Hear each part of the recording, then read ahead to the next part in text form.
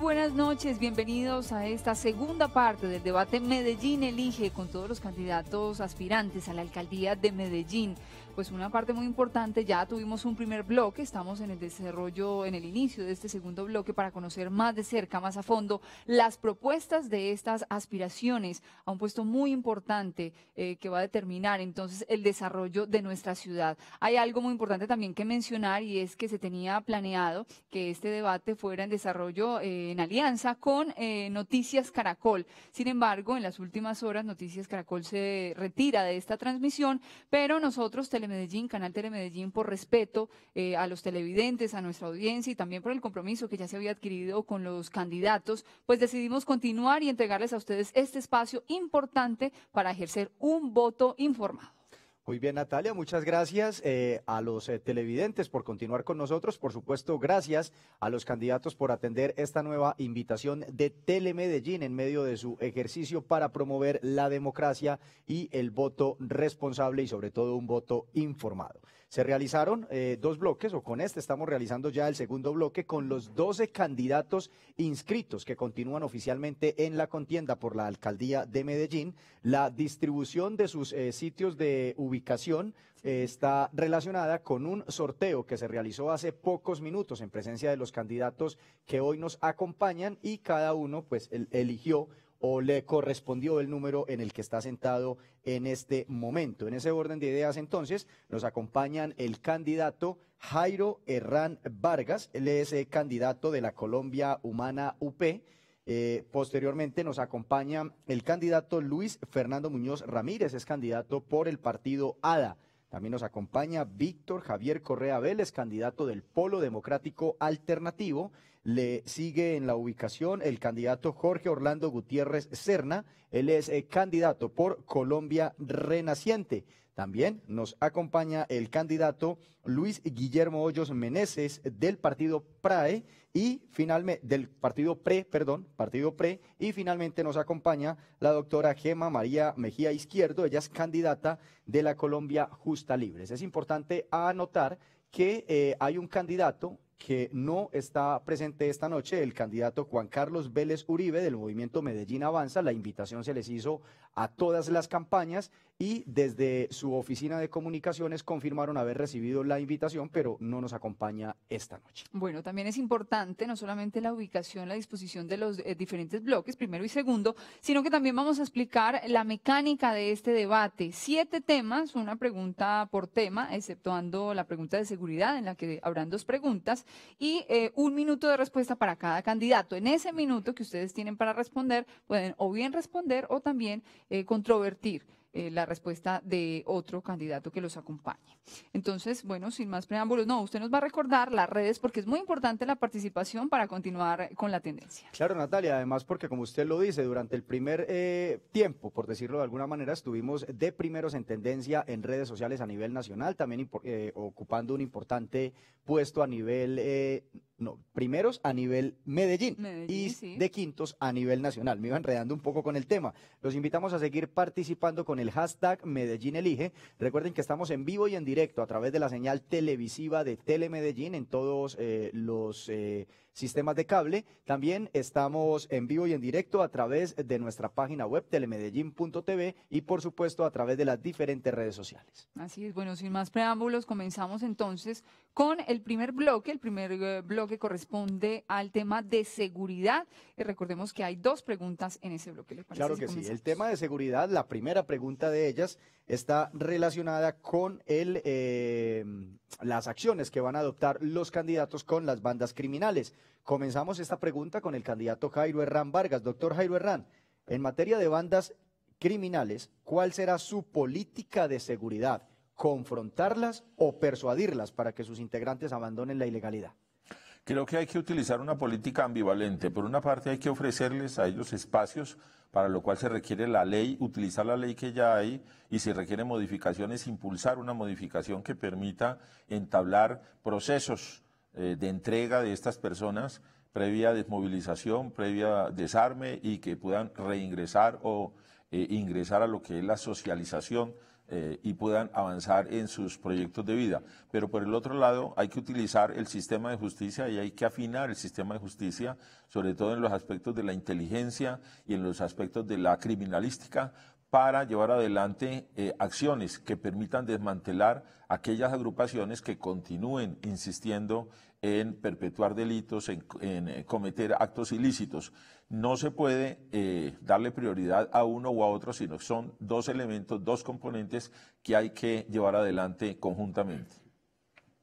Muy bien, el turno ahora para el candidato Luis Fernando Muñoz, pero algo les, eh, antes les quiero recordar algo a los eh, televidentes. Esta transmisión, al igual que la que pasó hace algún instante, tiene eh, sistema de lenguaje de señas colombiana, intérprete de lenguaje de señas colombianas, para que todos los televidentes con capacidad auditiva también tengan la posibilidad de interpretar las propuestas hechas por los candidatos. El turno ahora para el doctor Luis Fernando. en primer lugar, felicitaciones a Telemedellín por esta participación democrática. Yo creo que con respecto a la, a la seguridad de este país hay que, y de esta ciudad tenemos que hablar de seguridad humana integral. Esto es, hay que hablar de seguridades en general, no solamente la parte personal, sino seguridad humana en términos de el derecho a la salud, a la educación, a la vivienda, etcétera. Lo otro, hay que hablar con los ilegales indudablemente para ver qué es lo que piensan, qué es lo que quieren. Y en segundo lugar hay que hacer algunas intervenciones. Una de ellas, mejoramiento de los barrios en todos los terrenos, iluminación, casas de la cultura, gimnasios. Tenemos que implementar también más inspecciones a nivel de, las, de los cinco corregimientos, los 249 barrios. Tenemos que implementar entonces políticas públicas que nos posibiliten generar empleo, generar educación, porque la violencia en la ciudad de Medellín se debe a la falta de oportunidades de empleo y de educación. Perfecto, muchas gracias. El turno ahora para Víctor Correa. Su propuesta, combatir las bandas criminales o persuadirlas. Muy buenas noches para todos los medellinenses, para los televidentes, para quienes están hoy en el panel.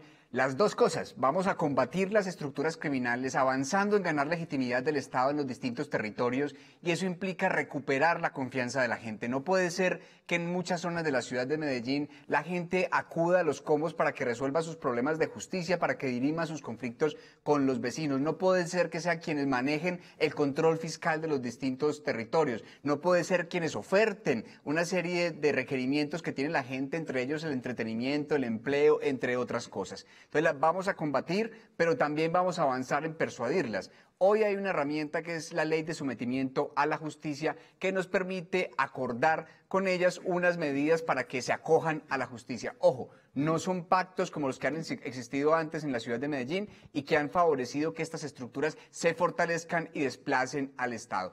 Ambas acciones comprometidos con una acción social grande y con una lucha decidida.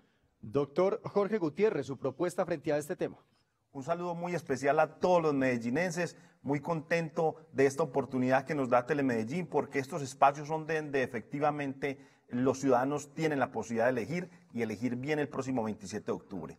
Eh, las bandas criminales en Medellín las tenemos que erradicar y vamos a erradicarlos persuadiéndolos efectivamente con la ley de sometimiento a la justicia y confrontándolos.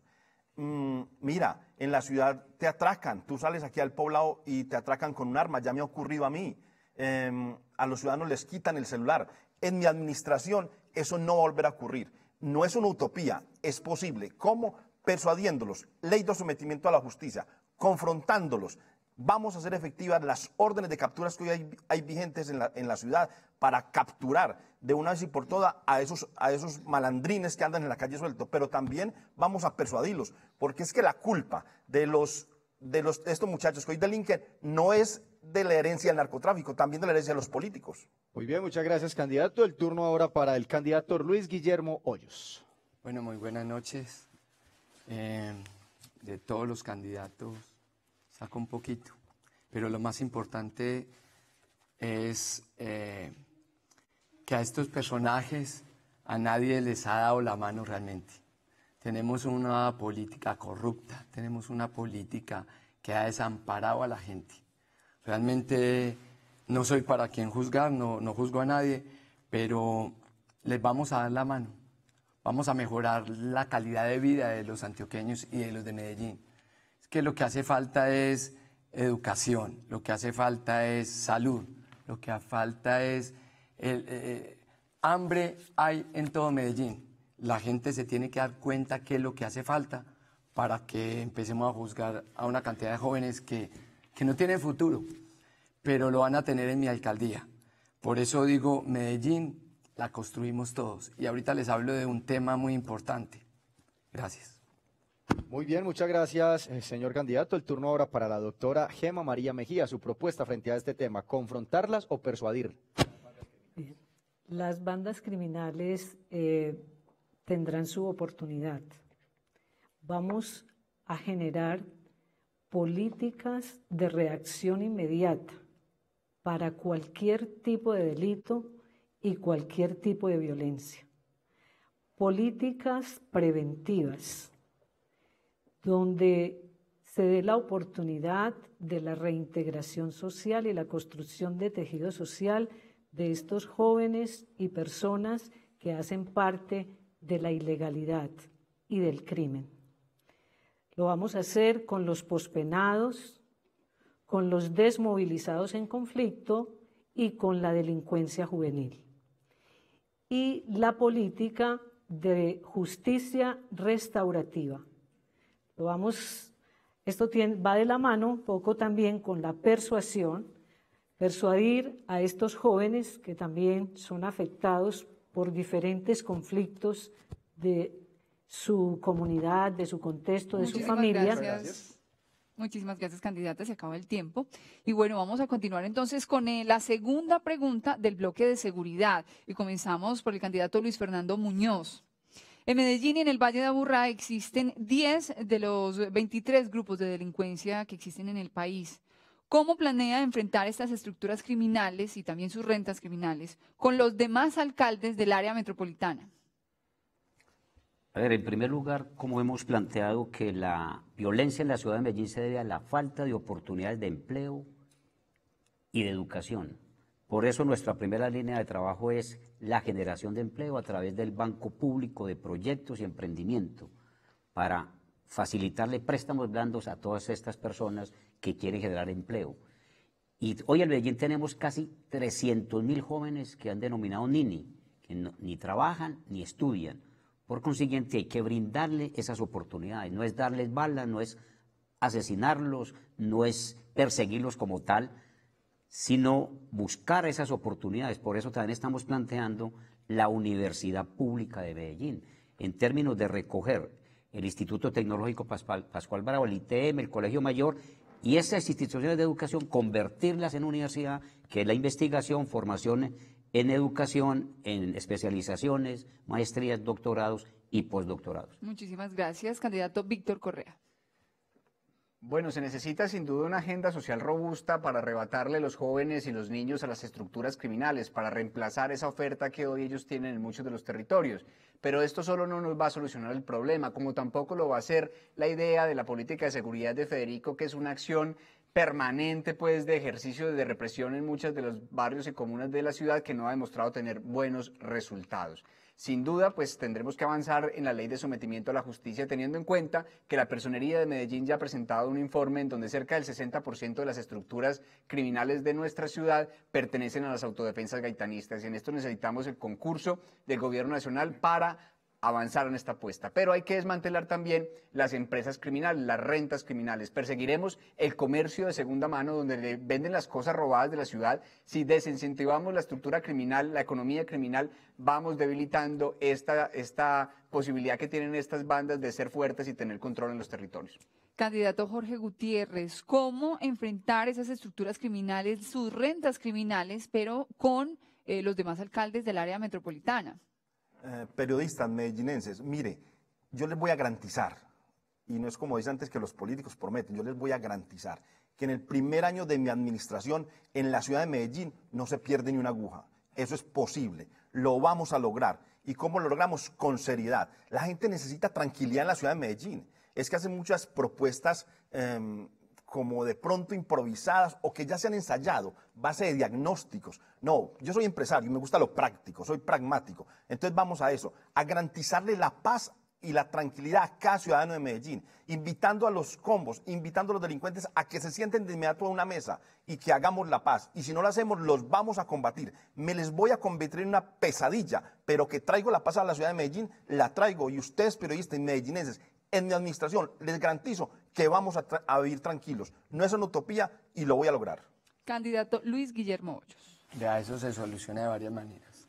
Una, como dije ahorita, dándole necesario a la ciudad de Medellín, a las gentes, a las personas.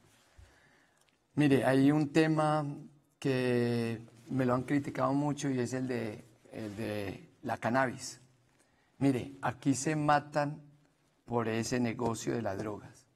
Vamos a empezar a hacer lo siguiente. He hablado con mucha gente, me han dicho que, que hable más sobre el tema de la cannabis y es muy sencillo. Nosotros le vamos a dar a los jóvenes una semilla para que no sufran ni las mamás ni la familia. Le damos la semilla de cannabis, ellos la siembran y los que fumen, pues, pues eso no se lo podemos quitar de un día a otro. Y nosotros vamos a hacer de esto una industria. ¿Qué industria? La industria de la cannabis eh, recreativa y la cannabis eh, que tiene efectos de, de salud. Eh, Muchas bueno, gracias, candidato. Qué pena. Es muy largo el, y ahora vamos con la candidata Gema Mejía. Muy bien. Vamos a proteger la vida y la integridad de los ciudadanos, incrementando el pie de fuerza policial, incrementando la institucionalidad. Igualmente, vamos a incrementar el uso de tecnología de alta gama para controlar y vigilar todo lo que tiene que ver con los delitos, los hurtos, los fleteos, los ciberataques y las rentas criminales. Lo vamos a hacer con la colaboración del área metropolitana de los municipios cercanos, vecinos, desde, desde lo local, lo nacional y lo internacional. Que necesitamos un apoyo de todas las fuerzas para lograr combatir el crimen. Igualmente vamos a proteger el patrimonio de la ciudad, incrementando para Medellín una ciudad legal y formal. Candidato Jairo Herrán termina este bloque su propuesta. Bueno, me parece muy importante señalar que no se puede esperar que haya eh, una disminución eh, de la actividad criminal por parte de estas bandas si no se hace una acción conjunta eh, a cargo de todos los alcaldes y a cargo de todas las autoridades. Desde este punto de vista creo que hay que hacer implementar un Consejo de Seguridad Metropolitano donde tengan asiento todos los alcaldes y se puedan aunar esfuerzos, diseñar políticas eh, para combatir estos grupos, sobre todo poniendo el énfasis en la persecución de los activos y en los servicios de inteligencia que tienen que llevar a cabo las acciones pertinentes para ir desmantelando esto que se ha convertido en algo que afecta absolutamente a todo el comercio en el Valle de la Burrá y que son las llamadas vacunas. Me parece entonces que hay que fortalecer la criminalística, los laboratorios, fortalecer el sistema de justicia y fortalecer, por supuesto, también la fuerza pública. Pero eso hay que combinarlo con acciones disuasivas que tienen que estar a cargo de cada uno de los alcaldes en cada municipio. Gracias, candidato, por su respuesta. Finalizamos entonces este primer bloque que corresponde a dos preguntas en materia de seguridad. Les recordamos que pueden seguir participando a través de nuestras redes sociales con el hashtag Medellín Elige. También estamos vía streaming por nuestra página www.telemedellín.tv y por el Facebook Live. Gracias por acompañarnos y continúen entonces con nuestra transmisión minutos. Es tiempo entonces de una primera pausa comercial. No se muevan porque es muy corta y regresamos con todos los otros temas que tenemos.